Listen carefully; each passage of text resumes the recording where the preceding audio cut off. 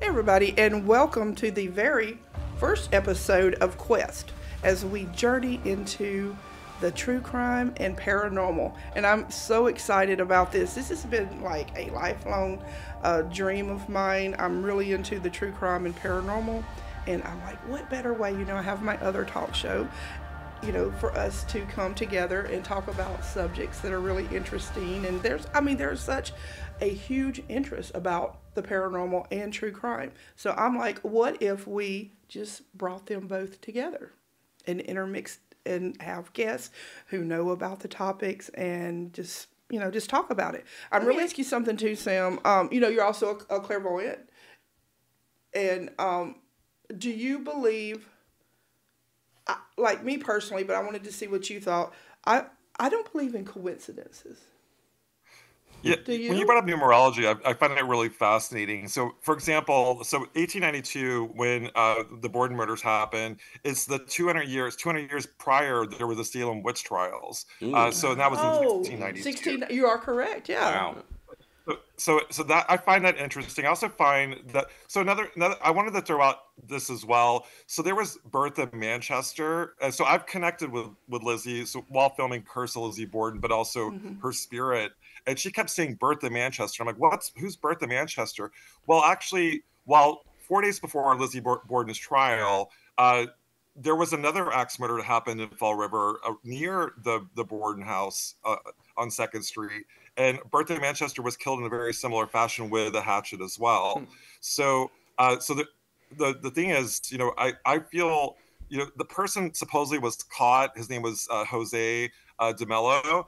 Uh, however, I don't feel like he did it as well. So as a clairvoyant, I feel like that there may be something. I don't not to get into conspiracy theories, but my theory with Curse Lizzie Borden is that Lizzie physically did it, but she was taken over by something darker. Like uh, I, I say possibly a family curse, but sort of like an energy that compelled her to do it. Like she wasn't in her right mind. She doesn't take responsibility for the murders.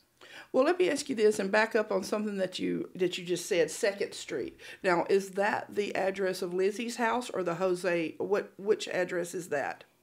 Oh, so that's that's in Fall River. So that's the murder house. Uh, it, that's the location where the the murders took place in 1892. Okay, now you ready for this? Second what's- Street is there is soccer? also the address for Villisca Axe Murder House Oh. and the Sallie House. Second, uh, the the uh, Second Street. Really? Yes, Okay, that's fascinating. Yeah, like I three of the uh, Yeah. yeah. Yeah. I mean, Sallie House wasn't, um, you know, like an axe related thing, but they have five. oh Actually, Sallie House and Villisca have the same uh, five oh eight Second Street, the same ad- uh, the address. But now that you're saying that in Fall River, that that one is also a Second Street. Do you know the? I'm sure you know the numericals on that, or Yeah, I don't know the actually at the top of my head I don't, but mind um, and also up? too like what it was when it was recorded in 1892 it's different the, the the street numbers changed so Mm-hmm. Sure. i'll i'll get back to you on that but i do feel uh, i do feel I, I do feel like there's some odd co- like connections whether or not it's just serendipity uh, and it's like coincidental that it's happening but like even the dates and just sort of the the way that the the murders took place i mean the the amount the ferocity of the borden murders uh, the fact that it was you know abby abby uh, you know whacked i mean the, the the story is that lizzie borden took an axe gave her father 40 whacks it was not as not 40 whacks but it was you know it was close to 40 whacks so the savagery the crime of passion involves, to me implies that possibly lizzie borden you know it, like there's other things going on if she wasn't in her right mind or she wasn't in her right mind when it when it took place. Right? And I just, you know, I just actually honestly got chills that there's three places with the same street address. Mm-hmm. But why do they always Yeah. Is it because it's just kind of stretched our human mind that we can't comprehend? Sam, what do you think about that? Like, we can't really comprehend how someone can do something like this. And we don't want to admit as a society that there's someone amongst us that is that evil. What do you think about that? Yeah, I mean, absolutely. It's, I mean, even the the heinous connecting with the spirits of Andrew Borden and Abby Borden. I, I, you know, Abby, Abby was not a wicked stepmother. She like she was a real person. So I, I, I get emotional every time I go back to the murder house in Fall River.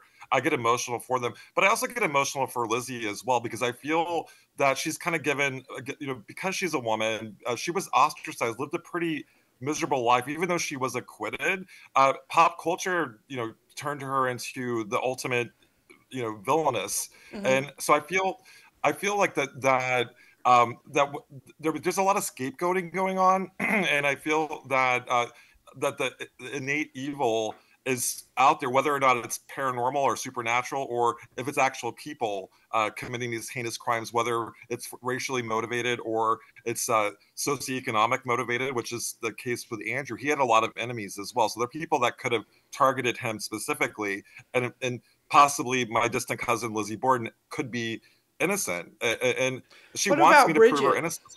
What about Bridget? Yeah, Bridget. Bridget's been considered too, and and that's the thing. Bridget was there, and so was Lizzie. So Bridget uh, was said she was asleep upstairs while the murders took place. Uh, having investigated that house multiple times, that seems kind of far fetched to me. Like that, that like that, like is really like you slept through two heinous uh, murders that happened in the house, two like one floor below in the case of Abby and two floors below in the case of Andrew. Uh, so Bridget, I, so I feel that Bridget and Lizzie potentially they could have had you know the the rumor or the the legend is that they were um, that they had an affair uh, that there was sexual abuse which i strongly and i'm in the school that possibly there was sexual abuse perpetuated towards bridget uh, and also towards uh, lizzie lizzie borden as well and pro- probably emma too on from andrew mm-hmm. Uh, but that's not proven it's not fact but the facts are that um, you know I, I feel I feel that uh, if you really know Lizzie or Lizbeth, as she likes to be called, she she didn't have it in her. She also something that came up in my research for my book.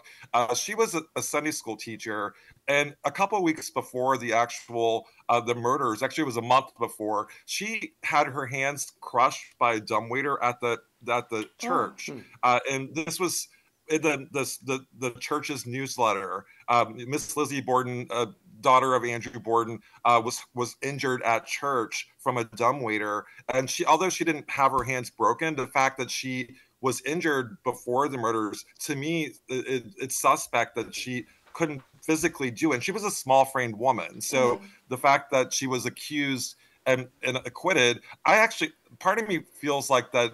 There's no I, I, I, always say it's not. I'm 99 percent sure that she actually did it, but I'm I'm I'm not now. I, I'm kind of going back. Maybe something else is at play. Yeah, because I mean, you actually have channeled her, right? I well, I channeled Eliza Borden, who was another another uh, perpetrator right. uh, who killed her children, and that. So on the show, I channeled Eliza. I when I Lizzie, I I don't channel Lizzie. I kind of keep okay. her away from you. I'm a little. She's a little sassy. But I know, noticed that you talk to her, you talk about her like in the present tense. Yeah, like she's my friend. Right, I mean, right, I've right. actually I picked her out like when I not only have I communicated with her, but I've also uh, I've gotten EVPs uh, during the filming of Curse Lizzie Borden. Uh, the question that my producers wanted me to ask was, Lizzie, did you kill your father and stepmother? And I say it, and on the recording you can hear uh, her crying in agony, like, oh, "Stop asking me that question. Stop asking me. I didn't do it. I didn't." You can hear her screaming in agony, like, "Stop asking me that question." So not only was she uh, tormented in during after the murders, but she was tormented in the afterlife as well. Yeah.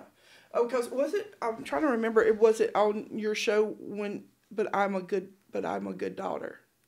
Yeah, like she wants. She wants people like me to prove her innocence, so she can cross. So they, I don't. I feel on a spiritual level, she keeps getting called back, whether it's to the murder house and through investigations, or her where she loves, which is her later in life home called Maplecroft, right. where I feel like that that she actually resides. If you if you want to find a location where Elizabeth is, is, but I feel like that there was a split of some sort. There's a crazy Lizzie, as I call it, um, that could have splintered and sort of psychically imprinted itself on the on the in the murder house. Uh, that is crazy. And then there's sort of a the the woman that I know, my distant cousin Elizabeth, who um, her spirit resides with her puppies, by the way, uh, in Maplecroft. So I do feel so. I, I really thought for sure that that Lizzie did it. I really was convinced, but I I've even looked into trains and the possibility that there's a tie to Villisca uh, into the Axemen of Louisiana mm-hmm. uh, as well. I, I feel that there's odd similarities. That there there was a train depot in Fall River very very close to the home.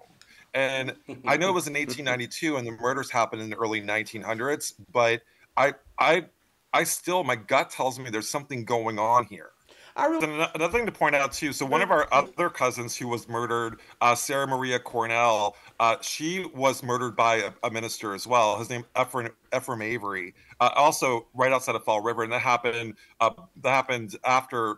Uh, actually, no, it happened before the murders in 1892. So I, I do see a, I do see a, something going on here. There's like a religious uh, and you also have the people that were accused also were either challenged the status quo yeah. or they uh, so like Sarah Marie Cornell, she was a mill worker who came from a prominent family. She probably got pregnant by the minister, uh, and so that's why he was suspected of killing her. But he was acquitted, like Lizzie Borden, the uh, from Avery. So yeah, so she was heavily involved in the church and and very pious and religious, actually. So actually, I'm, I'm thinking we have a little show here, mm-hmm. but between us, uh, you know, for talking, I mean, we have really just came across some things that maybe hasn't been thought of before. Yeah, sure. Yeah. You know, and I think that's pretty cool. First question that I'm sure that you're asked many times is, when did you know, like when you were younger, or that you had the gift um, for seeing dead people as a kid, when you see this little kid running around your house that you keep playing with, that you don't put two and two together because he's always in the room before you get there, and oh, just an imaginary friend. And then you see another person in your room, and you see another person, and it's like, tell your mom, and she's like, You're not special, you're just Cajun. and I was like, Thanks. Right. That's a for therapy later. Right.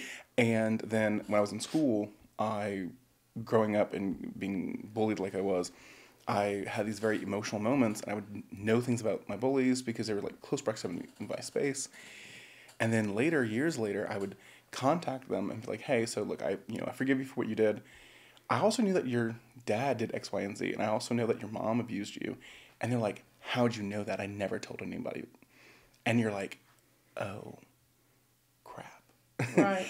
and you realize that these things are real. These things are happening and you put two and two together and you do a little research and you realize that you're picking this stuff up. And then you look back and realize that's why my mom was saying that she always felt odd in the house and she knew this and grandma always said X, Y, and Z. I think everyone can do this, but I think the people who put a lot of effort into mastering it do it like me, which is a daily basis. Now, let me ask you something. Was this uh, like the gift handed down from generations in your family, or were you the first one who had it, or, or how did it happen? So, again, I'm just not special. I'm just Cajun. Right. So, uh, my mom. You could at least brought boudin. right. Uh, we're not in Lafayette. That's oh, the only right, place well, you could get boudin. stopped. No. um, so, yeah, my mom and my grandma talked about things like this happening a lot when they were growing up. So, my mom said in her house, you'd see, you know, things move across the house, or things move, or you'd feel like a hand touch you, you know, in the dark, and they just chalked it up to being loved ones. And this was just something that was totally understood. Growing up in Cajun, you know, background, my mom's grandfather was a traiteur, and so it was no big deal to have a guy come over who only spoke French and was like, "We're gonna do prayers and we're gonna do this and this and do healing work." So the paranormal and spiritual was always very present growing up and the fact that our dead are buried six feet in front of our faces. It was super normal to be discussed, but it wasn't kind of a, oh, you can do this. It was a oh it's no big deal. And then when you start doing it on purpose in a teenage year because you're like i need to investigate how like what's what's going on that's when it got odd. You know everyone was like oh no this is just normal. And then it's like oh so you're doing a thing. Oh that's cool. And then you just kept going. And i don't think it was necessarily handed down but i do think it was because it was so common it made it more comfortable to learn in my family. Well, let me ask you this: like, is there any uh, spirit or like a spirit guide or, or anything that has came with you, grown with you through the years? Has, has when you were a child, that's like kind of stayed with you all these years, or do you, do you have like a special ancestor that you may rely on, or spirit guide, or anything like that? That when you're contacting.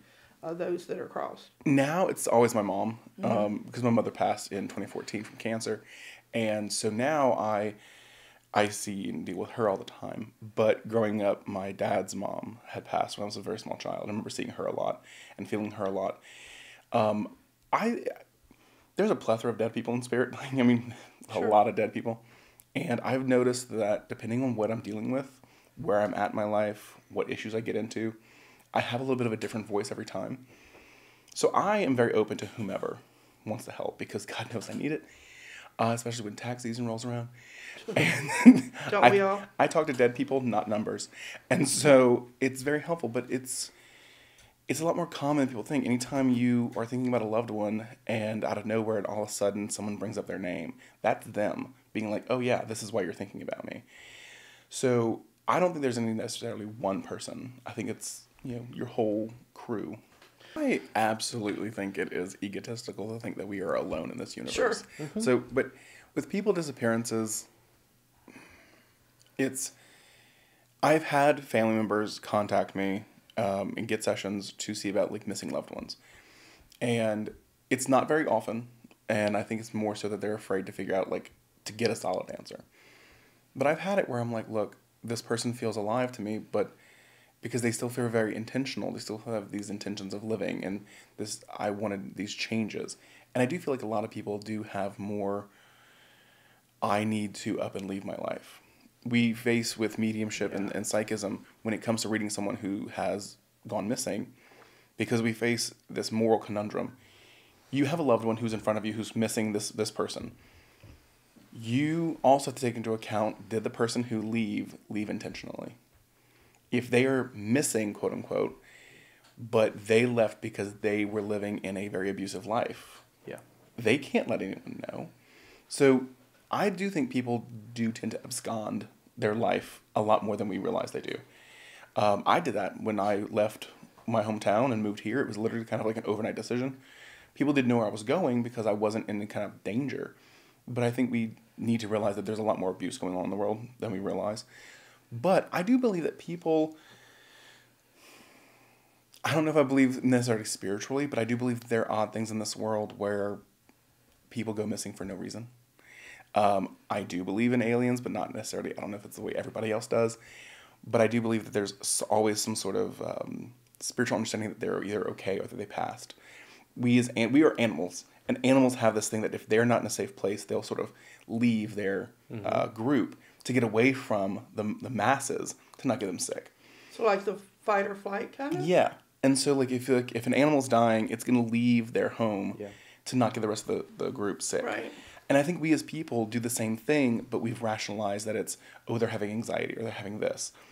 I think that's happening a lot more, and because a lot of times when I've had that happen with I didn't hear from someone for a couple months, they're like, oh I was grieving and I just need to get away from my life. Mm-hmm. People don't think about that because they tend to be very I focused, not uh, us focused, and so I haven't I haven't really seen a lot of experiences where the person leaving it's either they passed like some horrible thing happened where they were on a trip and then they died and no one knew. Yeah. or it's they probably started a new life to be honest. That's what i believe. You are doing readings and and all things um, psychic mediumships. Uh, full time now. yes i work from home. All of my my sessions are done either by zoom or phone call. Um, i like people to feel comfortable in their homes. You know i like when people who have situations like this come to me. Um, i do my best to try to make a living doing this with people who are just interested for the fun of it. So that way i have time to work with those who are really really grieving to help people heal. I try to do public demonstrations where it might be like a $20 ticket and there might be a room full of people who can just watch me get work and maybe get a reading or just kind of see how this works and i try to make it as accessible as possible because i do know there are people out there who are genuinely in need of the healing work that mediumship is Right.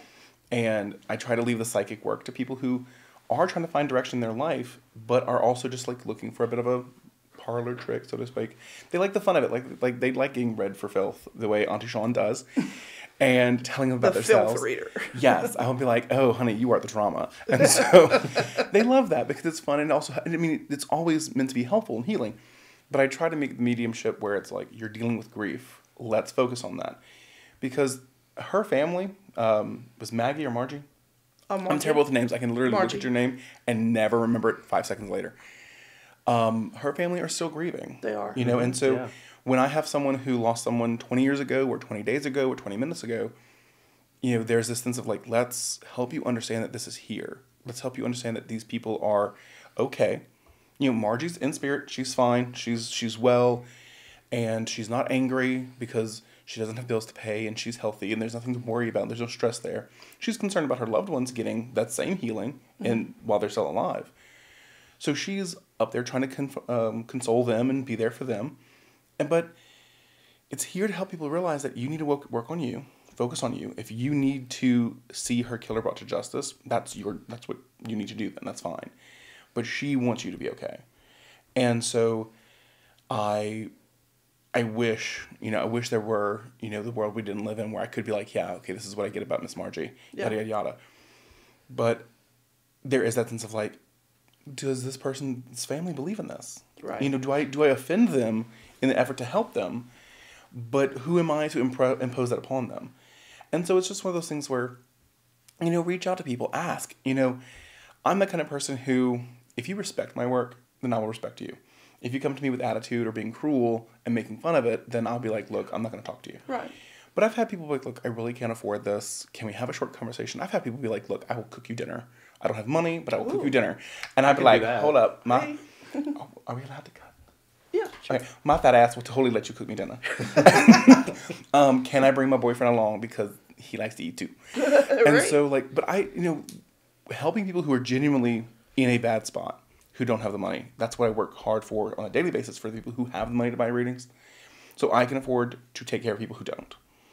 And you know, it's it's a world we live in where the only thing that really can help with a lot of the stress is hope. Mm-hmm. And that's what I try to peddle. Which is the realization of that regardless of how you find hope, you know, that's all that matters. I've had to disclaimer with my clients quite often, you're going to hear from who you need to, not who you want to and then we yes. can get into the want to. I actually have a question about that. I don't have a gift, right? we all do. You just haven't found, maybe haven't connected to it yet. Well, maybe not, maybe not. But I do have a question. Whenever you are talking to somebody or helping somebody, both of you, do you ever have an instance where it's more than one spirit trying to get through or trying to talk? Yes. And how does that feel? What is that like? So it's like being, excuse me, it's like being in, uh, it's like being at work when all of your coworkers and your boss are like, I need this, I need that, I need this, and that. And at one point you're just like, shut up. so, um, especially when I do galleries. So yeah. galleries are when we do platform mediumship in front of in front of a group of people. That's when the that's when the question came up when you there mentioned will be that. Ten people in line, or like just I will see them spattered around the audience, and I'm like, and as soon as I start noticing them, I start getting this like the oh, I feel a heart attack here. Oh, I feel a stroke. Oh, I feel like cancer. Oh, I feel this, you know, um, old age, whatever it is. And I'm like, okay, excuse me. Can y'all stop? Can y'all get in line? Like file, single file, you right. know? Um, just because y'all are dead doesn't mean y'all are animals. Let's go. And so, um, it does happen. And then I have had where I'll read reading for one person in the room, one on one, and they've had so many people who've passed and it's just like a cacophony yeah. of people in my head, and I have to be like, okay, who who represents the family? And because I'm gay, because I'm Auntie Sean, it's always going to be a grandmother or a mom or an auntie. Grandma comes in and she's like, "That'd be me," and I'm like, "Yes, ma'am, it would." right. Um, and so we do get them. We do have to work with them because they're conscious, they're intelligent, just like we are. Yeah. And I hate you. We need to do this. I know that y'all know that my potential of doing this is way bigger than I probably realize it is, but I am human and I am tired. So there is that. Um, but most of the time, it'll usually start off as a trickle, mm-hmm. one person, and then once you get rolling into it, it's much more comfortable to deal with. Oh, so grandma's talking about so and so, and so and so's here, and, and it be, just becomes kind of more organized. Yeah, yeah. But man, when you just have that one person who comes in and they're just really emotional because they've lost a lot of people. Yeah. And just like five people show up and you're just like, shut up. shut up. Who's first? Who's first? yeah. Although, you know, I've never ever had one person walk up to me and say, I don't really believe in ghosts. If mm. they did, I would say, that's great. but that doesn't stop them from believing in you. Mm-hmm. And if you really want to have some close encounters of the spooky kind, um, but also uh, the enlightening kind, go take a tour of the farmhouse and feel the energy. at that farmhouse. Go to Harrisville, Rhode Island, to what is known as the Conjuring House, and take a tour of a place that will change the way you think and feel about everything. You know, people that spend the night there and do investigations come out with their minds blown. They, you know, inevitably has have something happen to them that they are certain was uh, from another realm, not in their natural 3D world in that house, because that's not where that house is. It's somewhere between the third, fourth, fifth dimension and beyond. It's a vortex, it's a portal cleverly disguised as a farmhouse. Even when you were younger, that you knew that you were going to write a book about the story of the Harrisville house. Yeah. That you. It really is that. It's the Richardson Arnold homestead. Mm-hmm. Um, uh, but you know, to the rest of the world, it's the Conjuring House, the real place sure. that it was based on. So, yeah, it's um, it's got you know we didn't know of its reputation when we moved in. There were people that knew there was activity there, but it was not something. You know, I don't know how how old you are, Misti, but I just turned 65, so I'm officially old. I'm Medicaid, Medicare, Medicare old. See, I don't even know what I have yet.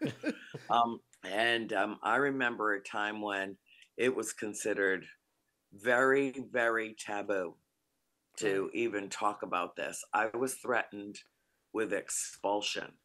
You know, I was a, a really good student who followed all the rules, you know, a goody two shoes. But when people asked me about the house, I spoke openly and honestly about it. And it almost got me expelled from high school. Wow. So I don't, I do not, um, uh, as a rule, uh, talk about it in a, a large public setting or where there might be somebody that takes umbrage with who I am and what I do. Mm-hmm. Uh, I have to be aware of that, cognizant of that now. But I really think that most of my trepidation about it comes from, uh, you know, 40, 50 years ago when uh, it was a, very different situation than it is now. People have come to accept that there's something beyond our mortal existence. Mm-hmm. Um, and sometimes what I talk about can fracture a belief system in mm-hmm. another. And they have to reject it because there, you know, for instance, there are religions where you are not allowed to believe in ghosts. Correct. Period. Correct. Or not, and that's uh, it's in the bylaws for God's sake. So, hmm. um, you know, I'm I'm always trying to be mindful and respectful of the feelings of other people, Misti. It's uh, important that people have their belief systems. Even atheists have a belief system, and their belief is that there's no such thing as God. Right. So, let me ask you something because you were talking about, you know, how respectful that you are about other people's beliefs. And would you consider yourself like a sensitive or an empath or anything? I don't uh, label myself anything at all. Okay. Because I think I'm everything all at once and and then some.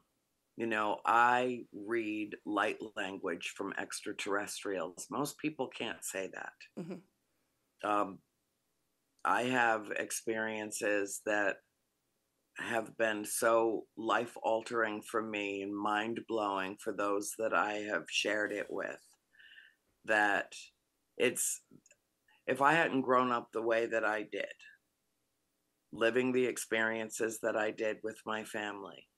And I read our story just as a, a, book. I don't know if I would be able to believe some of what is in there. I think that everything that we do in life, whatever we put out in some way, shape, or form, it based on the circular nature of life and and of our entire universe even the the shape of the planets to the ring we put on our fingers when we marry the person we love mm-hmm. it's universal And it seems to me that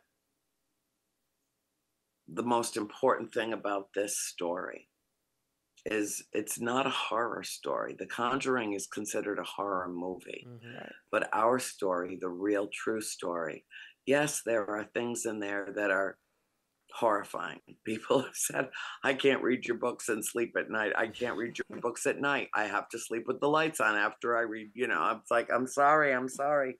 I didn't mean to write it that way. That was not my intention to scare the hell out of you. You know, because ultimately it's it's really a love story. It's a story of forgiveness and redemption, yeah. of acknowledgement and gratitude and the embracing of those that dwelled among us. You know, I mean, for all intents and purposes, we lived with the dead for a decade. Wow. And even the cranky ones, um, I just love. I mm. do because they exist. Yeah. You know, I mean, who knows what kind of lives they led that, you know, that made them as cranky as they are. I think all they need is love. I think all any of us need is love. And love is our superpower, and it is the ultimate healing force in life. I really, I do believe in the power of love. I do. Um, I've been working very closely with a very gifted couple, uh, Cody DesBiens and Satori Hawes. Oh, uh, yes. And they have developed a method of communicating directly with spirit oh. that is um, something I never thought that I would live to see, but I have.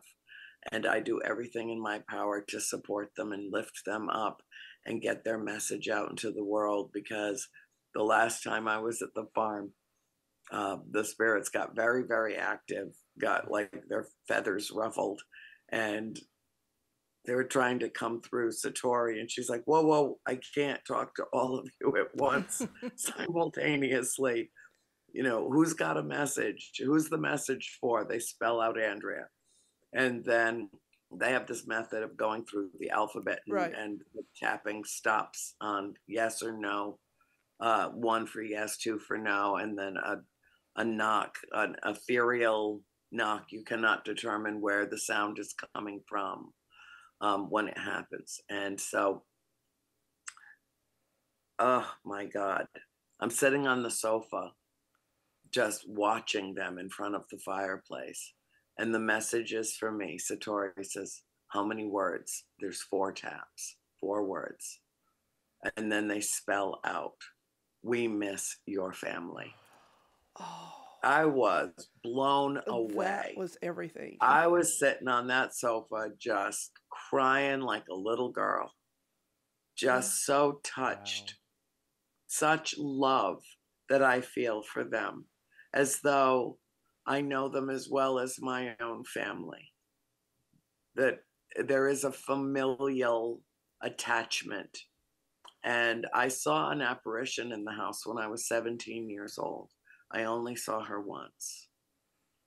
And she was the spitting image of me at this age with bigger hair and a bun on the top of her head, but the same basic hair, thick gray, with a very beautiful dress on with a high collar that went all the way to the floor. We were standing on the hearthstone, and I looked into her eyes, and they were my eyes. I looked at her facial structure, and it was mine as an older woman.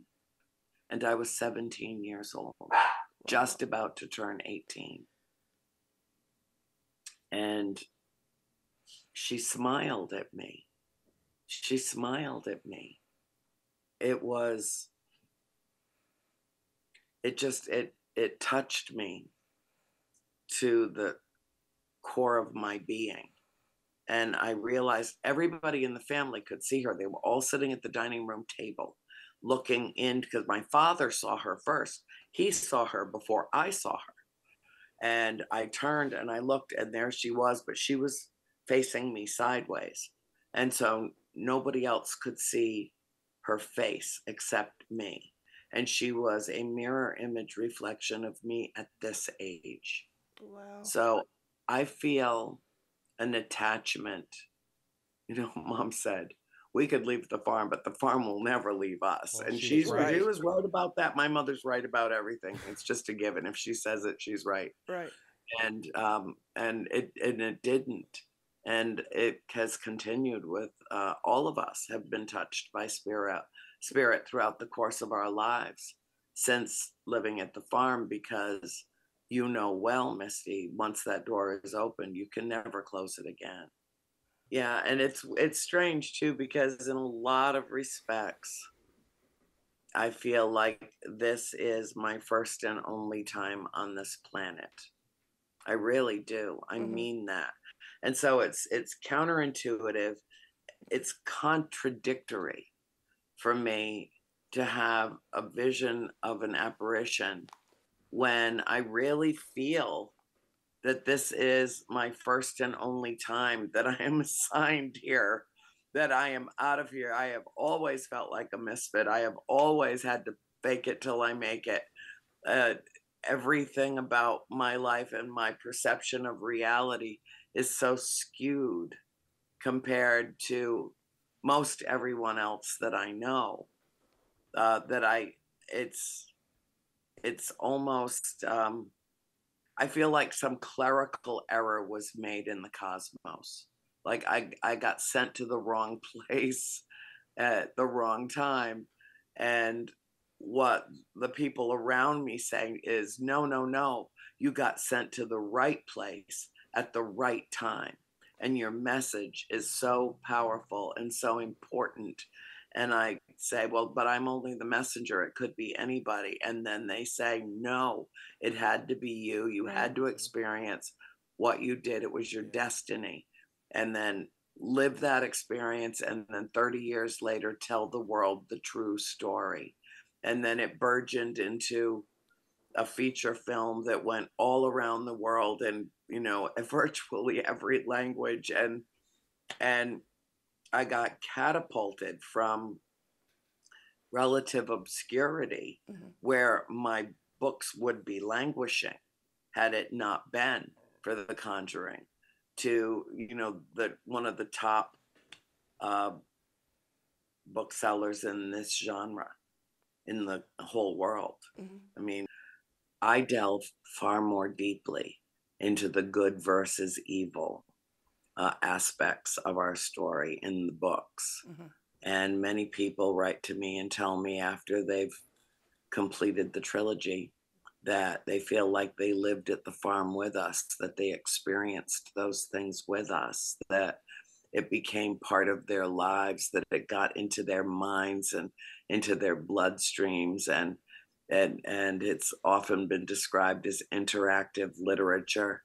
You have to know when to put the book down when it gets really intense, whichever volume you happen to be in. Um, and at some point, I will republish them because so much has happened at the farm since we left. Mm-hmm. Uh, I think it warrants, uh, you know, there's it's a never-ending story, and with now Cody and Satori being there and doing what they do. Uh, it is it has been one revelation after another. I'll give you a specific case in point. Um, I wasn't there that night, but uh, Ken DaCosta from Rise Up Paranormal mm-hmm. was there. They were filming, and uh, Julie DeMay from Rise Up was there and covering one camera. Ken had another, and uh, what happened with Cody and Satori that night was amazing. Uh, when we moved, the day that we moved into the house, uh, four of the five of us, uh, the children, saw an apparition standing in the corner of the dining room, fixated on Mr. Kenyon, who's the man we bought the house from, and he was moving out as we were moving in. It was January 11th, 1971. And um, coincidentally my and i don't believe in coincidence uh, the birthday of my friend george oh, okay. um, he, that's the day he turned eight years old and um, i saw him first but he looked like uh, solid flesh and blood to me i did not distinguish him from a living, breathing human being at all, which means I was seeing him in his dimension, which was, I think, the first time that that's ever happened to me. And as I walked past him, I greeted him, said, Good morning, sir, and he didn't respond, like he didn't hear me or see me. Um, I went in the kitchen and asked my mom who the man was with Mr. Kenyon. She said, Nobody's with Mr. Kenyon. His son's on the way, but he's not here yet. Okay. I must have figured I was what? 12 years old. I must have figured it was a neighbor or a friend. I went back outside the kitchen door, back over to the truck. Meanwhile, Christine walks in.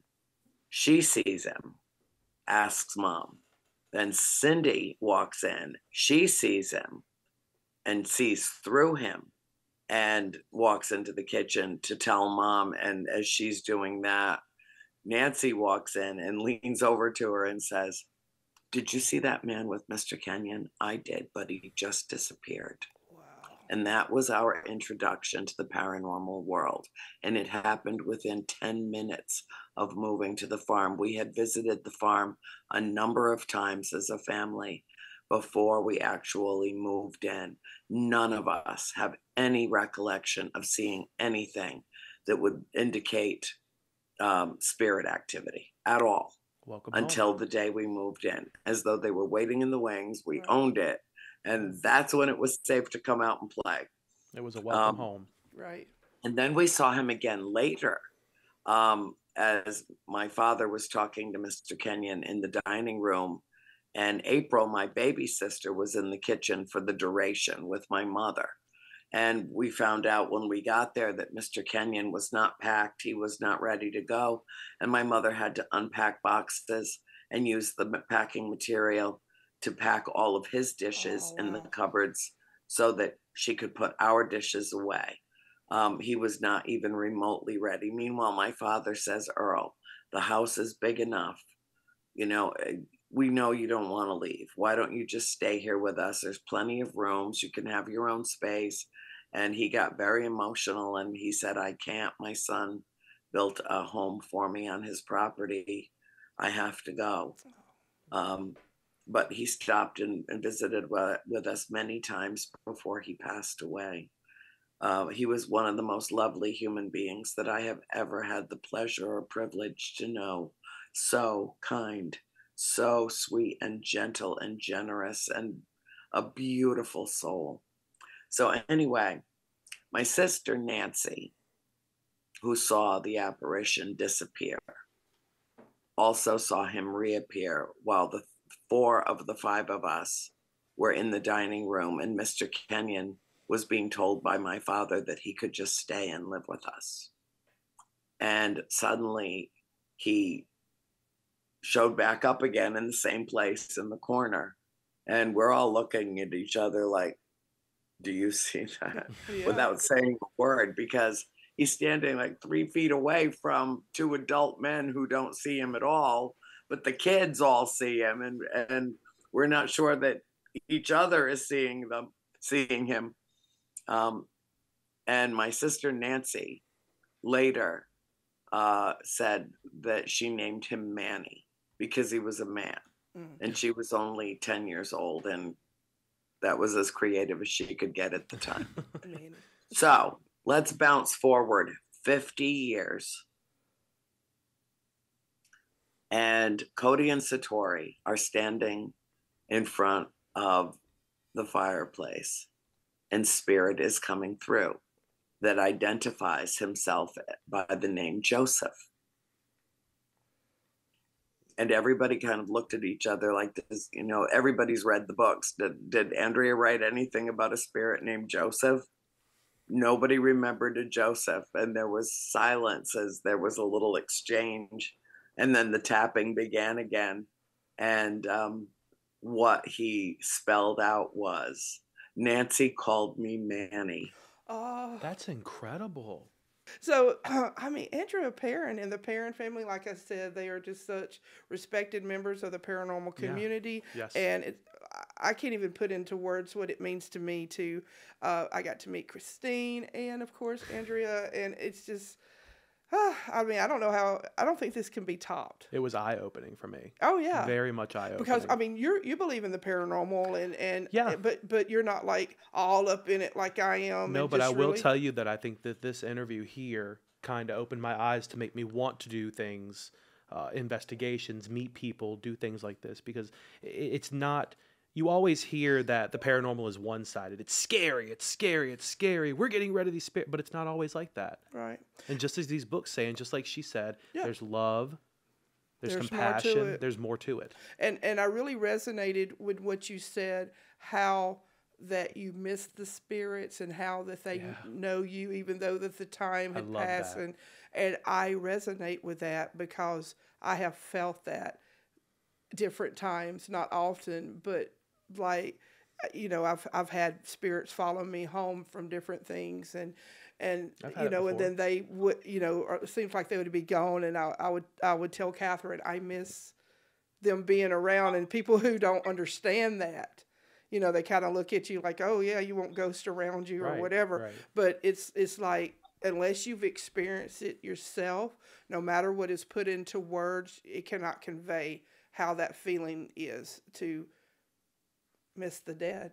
You know, it's just really, and and then you know, like for them to know you is such an honor that that that they know who you are. To know and remember. And to remember. 50 years later. And if you think about it, you know, we as a living, we want to be known. We want to be uh, loved. And, and th- that's all that they want too, because the majority of them, they were human and they're still wanting love and they're still wanting recognition and to be remembered.